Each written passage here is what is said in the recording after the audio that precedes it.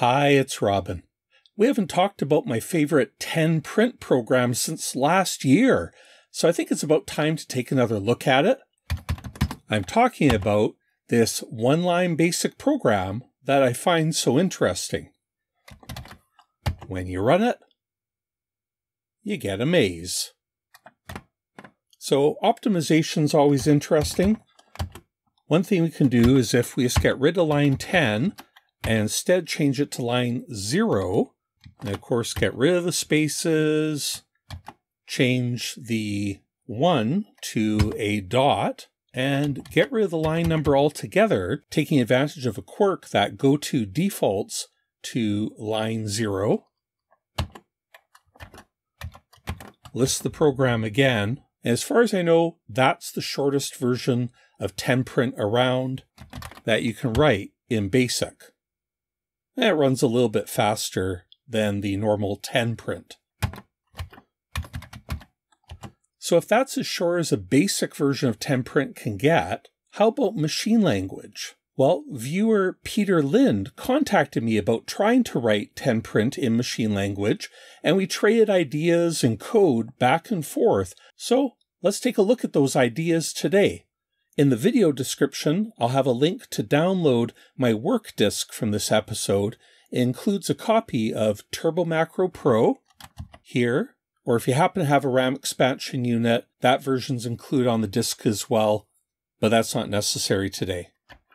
And once you've loaded Turbo Macro Pro, comma 8, comma 1, which I've already done, you can start it with sys 32768, and we're in the Turbo Macro Pro editor where we can edit assembly language on the C64. Back arrow L allows you to load a file. ML1 is the first version of a machine language 10 print that I tried. And here's the code. It's fairly short. We'll walk through it. We're going to be assembling to location 828, which is the cassette buffer, and it's just a handy place for very small machine language routines.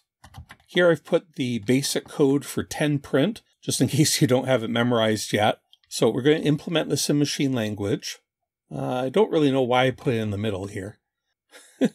so maybe the trickiest part about implementing 10 print is that it uses this random function, which returns a value between 0 and 1. And what happens is character 205 is one of the slash characters that makes up the wall, and adjacent to it is character 206, which is a slash the other direction or a diagonal the other direction. So 205.5 and adding a number, a float number between 0 and 1 and then the character string function effectively truncates that. So you end up either printing character 205 or 206 about 50% of the time each.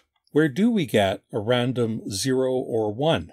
Well, the most obvious source in the Commodore 64 is the SID chip, the sound interface device, which as part of its noise waveform, its white noise waveform, generates a sequence of random numbers, a 23 bit linear feedback shift register. It's not truly random, of course, but it'll do.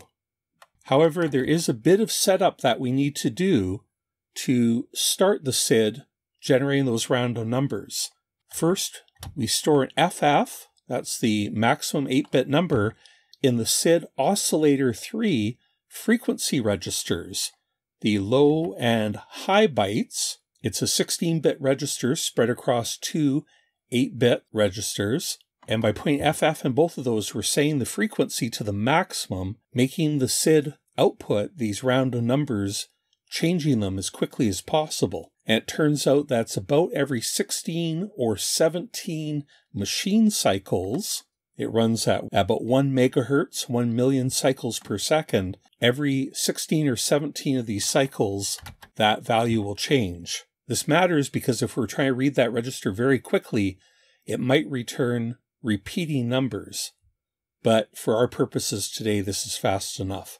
And the one other thing we need to do to initialize the SID is set the high bit of this control register to enable the noise waveform.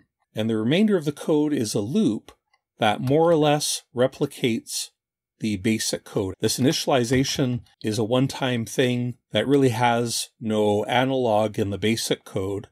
Now that the SID is set up, here's an endless loop where we're going to load from the oscillator 3 output. Most of the SID is write only, but does have some registers that can be read, and one of them is the oscillator 3 output. This is basically getting an 8-bit random value. Now, what do we do with that? Well, if we use the rotate right command, it will rotate that random number one bit to the right, and the low bit will fall off into the carry. So we've either got a 0 or a 1 in the carry. Now we can load the accumulator with character 205, just like in the basic code here. And we can add with carry 0 so we're adding zero, but it's also adding whatever's in carry, which is either zero or one. And we end up with either a 205 or 206 in the accumulator. Then we can jump to the FFD2 kernel routine, which is called character out, CHR out, which prints a single character. And now our random diagonal has been printed on the screen and we can just jump back to loop and do this endlessly. Okay, so that's a very straightforward implementation. Let's see it. Well, back arrow 3 to assemble. Back arrow 1 to drop out to basic. Just increase the contrast, I'll hit Control 2, which changes the cursor color to white before I start the code. Of course, that's not strictly necessary, but it's for you, my viewers. I hope I remember every time. And to start the code, we can call the basic command sys which starts a machine language program, and we told it to assemble to location 828. So that's the parameter. Here we go. And there's 10 print. And you'll see it's running an awful lot faster than the basic version. We can hold down the control key, which slows down that character out routine. Every time it prints a new line, you can see how it almost instantly prints 80 characters and then it jumps up making room for more printing. You can see it looks pretty random.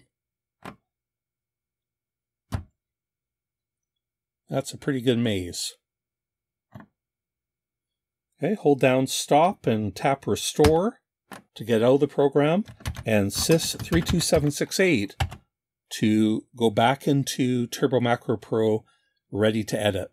So there you go, machine language version. Of course, that's not enough for one episode, is it? Let's optimize this a bit. We can choose, are we going to optimize for speed or are we going to optimize for size? Well, it's already pretty fast and really it's calling this print character routine that is using the vast majority of the cycles in this program. So to significantly speed this program up, really we'd have to rewrite the print character routine and that just doesn't sound that fun to me. So I want to optimize for size today. Can we make this shorter? So we can save three bytes by eliminating this store to the low byte of the SID frequency register. The high byte is 256 times more significant, so this barely makes a difference. It matters for music when you want to fine tune the SID to a particular note, but as far as outputting numbers quickly, it barely makes a difference. And for our purposes, we can just get rid of that. So back arrow and delete will get rid of that line. Now the rotate right, that takes one byte. Load A205 takes two more and add carry takes two more. So that's a total of five bytes. I'm not completely happy with doing this add carry zero. That seems kind of like a waste. So instead, what we can do to get a random number between 0 and 1 is AND the accumulator with 1. I'll just leave the low bit, either 0 or 1. And we can add with carry 205. So here we're going to have either 205 or 206. And we can just get rid of this add carry 0. So now we've got 4 bytes instead of 5. And this jump loop takes three bytes for an absolute jump. Instead, branching only takes two. So if we branch if carry clear to loop, that will save one more byte. So that saved five bytes from 26 down to 21. Does it still work? Let's try it. Here we go. Yeah, looks pretty good.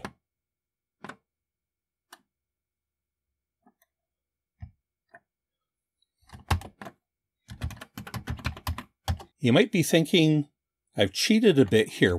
Aren't I ignoring carry here? And how about down here? Why am I branching if carry clear? What if carry is set?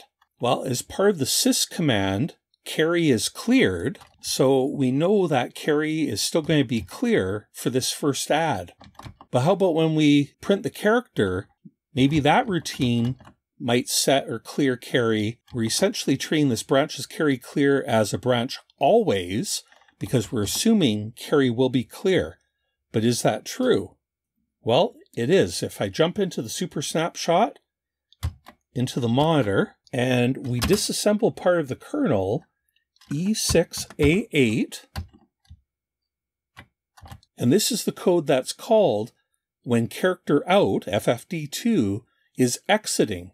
You can see what it does is restores the Y, the X, the A registers, and it does two more things. It clears carry, so we know that whenever you print a character, carry will always be clear afterwards.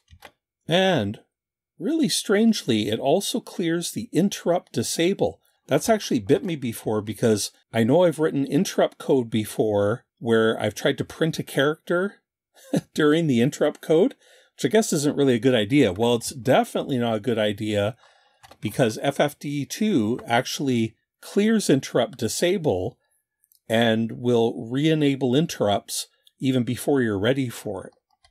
So I actually don't know why it does that. If you do, leave a comment. So anyway, the important thing here is that carry is clear when exiting from FFD2.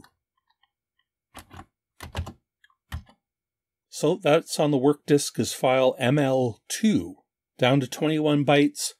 Now the loop is starting to get very tight here, but what seems probably wasteful is all this initialization code. That's like 10 bytes there. If we could find a different source of randomness than the SID, then maybe we could get rid of this initialization code. Okay, so we'll load up file ML3, and as you see, this is quite a bit shorter, 13 bytes.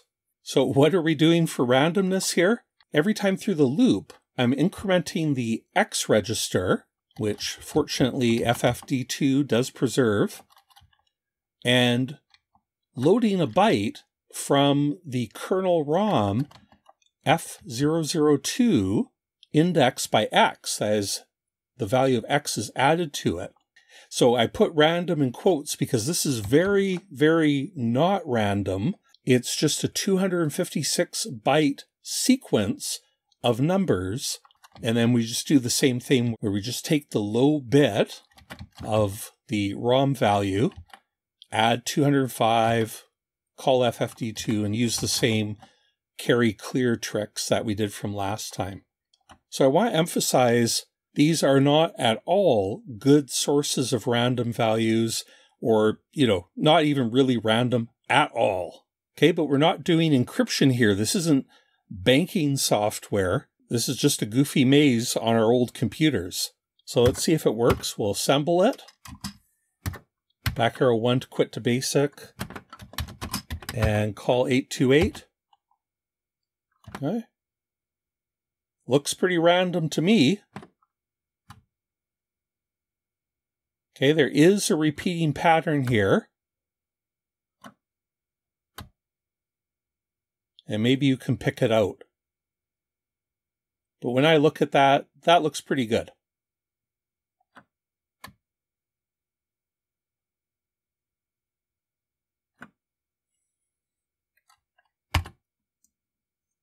So if we go back into the monitor, and if we look at the memory at F002,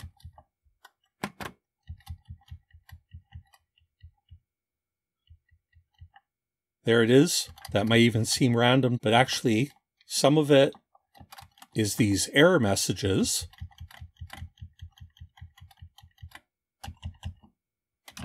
And the part before that, this is some of the RS-232 input-output routines.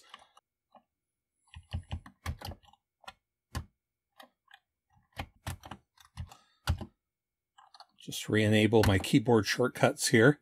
I don't know why Turbo Macro Pro disables them, but it does. So how did I come up with that F002? I wrote this little ROM scan program that just goes through the kernel ROM. This is from E1000 hex to near the end of the ROM.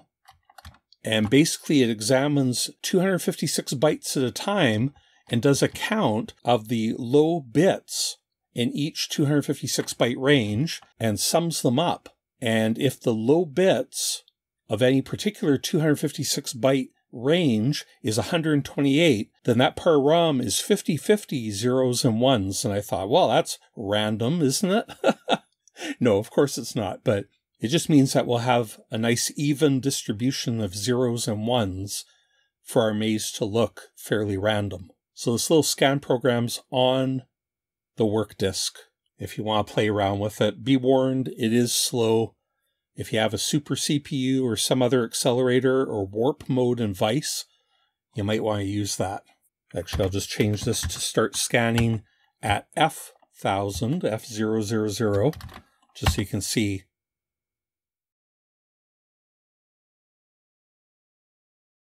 And so all it's doing is reporting back at what memory locations are there 128 out of 256 with the low bit clear or set. So there's lots of choices. I chose F002 because it was the one closest to the beginning of a page. as the beginning of a page would be 00, and this is at just two bytes after it. So when doing the indexing, it'll cross the page into F100 only three out of 256 times crossing a page costs one extra cycle for the load A. Here for the absolute X, there's a star. It normally takes four cycles, but the star means that you have to add one if the page boundary is crossed. So I am optimizing for size primarily, but when given the choice, my secondary objective is to optimize for speed and this was the best I could find. Unfortunately, I couldn't find any 50-50 range that started at the beginning of a page with the low bytes 00. Okay, so that's 13 bytes. Can we do better? If there was a source of randomness that didn't require incrementing this index, then we could save a byte.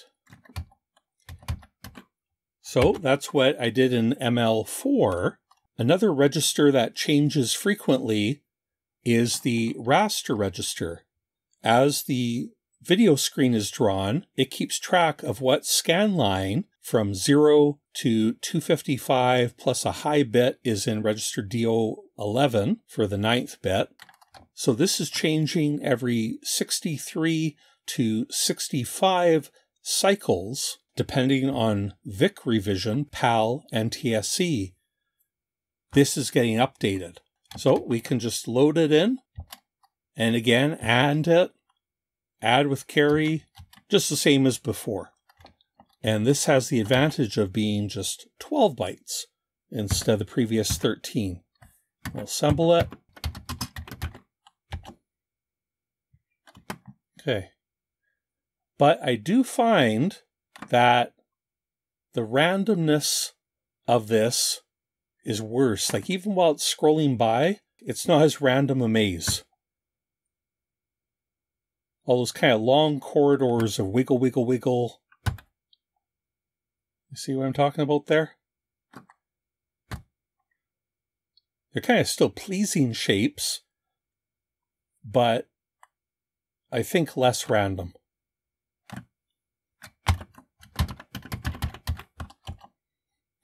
And I think the reason for that is that this FFD2 takes somewhere in the neighborhood of 250, 300 cycles to print a character. But the raster register is so predictable. Say on NTSC, for 65 cycles, it'll be an odd number. Then for 65 cycles, it'll be even, then odd, then even. Printing a character takes a fairly steady amount of cycles.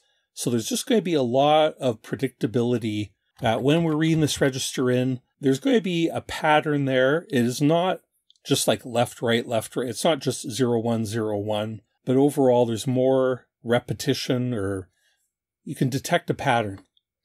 The one thing that throws more randomness in is when the screen scrolls. That takes a lot more cycles, but it's all still fairly deterministic. This works, but it's probably the worst looking randomness we've had so far. So can we do better?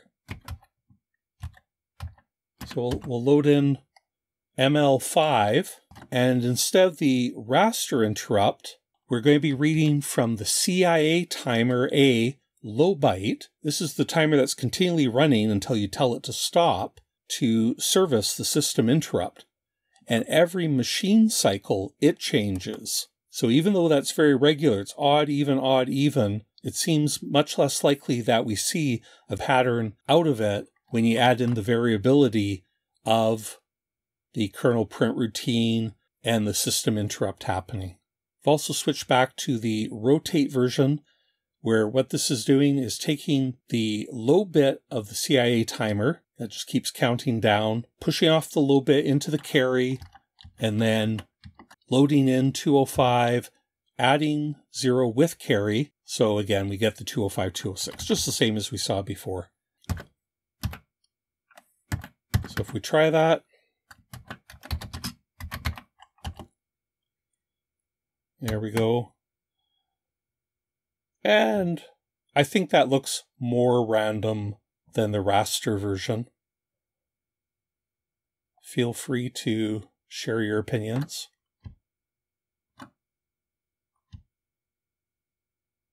Course, when I pause it, that changes when the values are being read for the new oncoming scroll, the oncoming maze.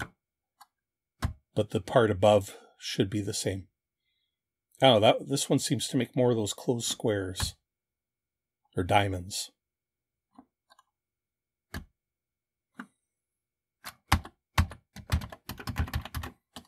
Okay, so this is the best that Peter and I came up with. In all cases, we have to use three bytes to get our random value because we're always loading or rotating from a 16 bit address. So it's one byte for the opcode and then two bytes for the address. If there was a zero page location with a random value in it, then that would save a byte. Unfortunately, the only thing that's in zero page that's kind of automatically changing is the time of day timer, but that's just counting jiffies, 60ths of a second. So that goes for like, what, 1600 cycles before it changes and all it does is go up by one. So that is not a good source of randomness at all. Like it doesn't even look random, never mind it not being random. Okay, but there is an honorable mention here.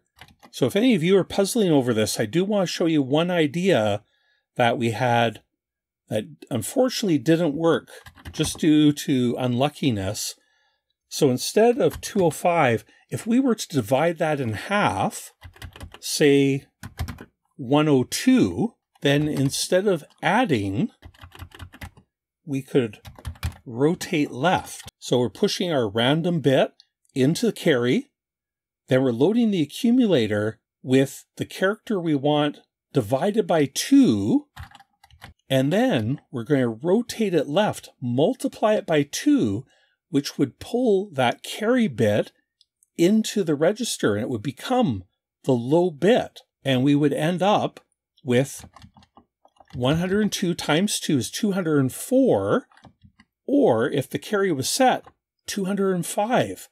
And this would save a byte because any of these opcodes that operate just on the accumulator just use one byte instead of two. There is no actual operand byte, even though some 6502 assemblers put this little A here. I don't really like it, but it is part of the official machine language for the 6502. So this would be 11 bytes. Let's try it. But it doesn't work because it is showing character 204 or 205 instead of 205 or 206. So we get this ugliness instead, which honestly does look even less random when you look at it that way.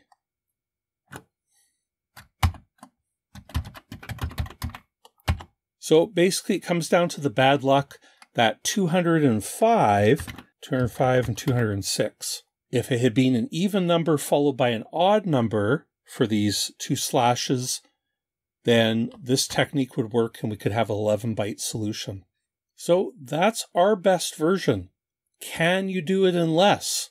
Do you have any ideas? It feels like there might be one more trick here where we can get this slightly smaller. But we're still pretty happy with a 12 byte solution.